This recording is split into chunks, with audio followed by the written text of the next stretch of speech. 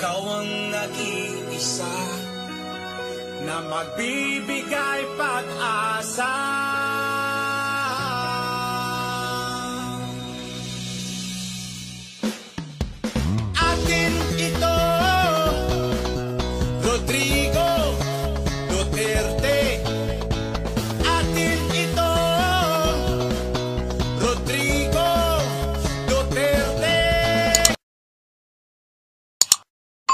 magandang araw mga kabayan sa ating Overseas Filipino, sa ating mga kabayan sa Luzon, Visayas at Mindanao. Isang magandang araw po sa inyong lahat and welcome back to my YouTube channel, Janice Leander Vlogs. Andito tayo muli sa Manila Bay ngayong July 4, 2021. Andito tayo sa may overpass.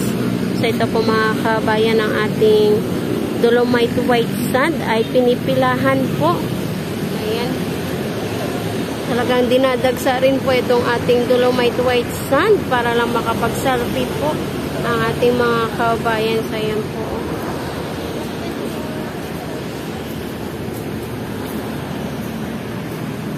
Ayan, talagang pinipilahan po itong ating Dolomite White Sand. So, ayan, kita niyo po yung ating Dolomite White Sand.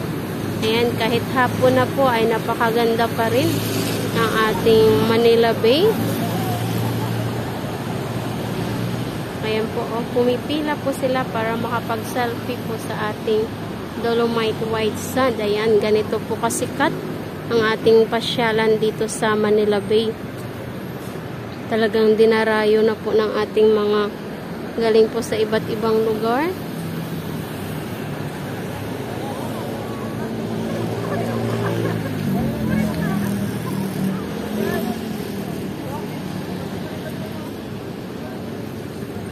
Ayan, kasalanan na naman po ito ng ating mahal na Pangulong Duterte dahil po ay dinadagsa o talagang pinipilahan itong ating Dolomite White Sand. So, paano na lang po kaya pag nagbukas ito? Next week, ang ating Dolomite White Sand. So, ngayon pa nga lang po ay pinipilahan na dito pa lang po sa may overpass. So, paano na kaya kung doon na mismo sa may Dolomite Sand na talagang yung unang bukas po nito ay talagang napakahaba ng pila. Simula nung alas 5 po ng umaga talagang pinilahan na po ito. So hanggang po magabi ay talagang hindi talaga nagpaawat ang ating mga kabayan na mamasyal at makapag-selfie po sa ating Dolomite White Sand. Ayan kahit binabatikos po nila itong ating Dolomite White Sand pero hindi po magpapatinag ang ating mga kabayan talaga na gusto kong masaksihan at makita itong ating napakagandang long white beach dito sa Manila Bay o dito sa at Metro Manila. Ayan, kauna-unahang white, white beach na malaburakay po ang ganda. Ayan, lalo na dyan, pag nalagyan na po ng halaman itong ating rock formation,